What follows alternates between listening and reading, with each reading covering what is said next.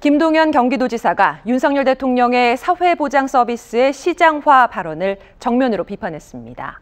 복지는 사회적 투자라는 점을 강조하며 시각차를 분명히 했습니다. 김대영 기자입니다. 김한나라 씨는 알고 지내던 홀몸 어르신이 백내장으로 고생한다는 얘기를 들었습니다.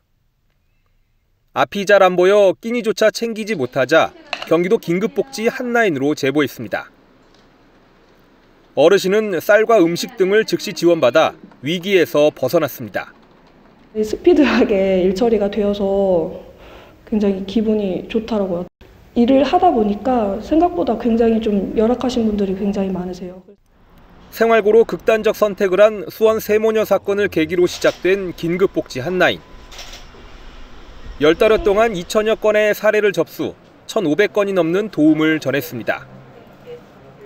경기 남북부 경찰, 한전 등과도 협조 체계를 구축해 사회 안전망으로 자리 잡았습니다.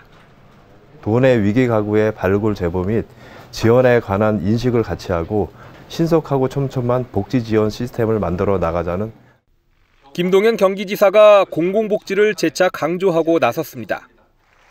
사회보장 서비스의 시장화와 산업화, 경쟁 체제를 강조한 윤석열 대통령의 발언 때문입니다.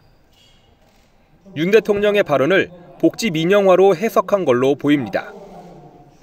김 지사는 한마디로 어불성설이라며 사회 서비스의 시장 논리는 필요계층이 배제되는 위험한 발상이라고 꼬집었습니다.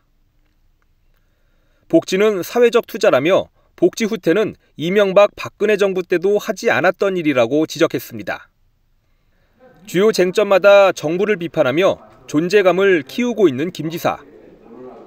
복지 정책을 놓고서도 대립각을 이어가고 있습니다. OBS 뉴스 김대영입니다.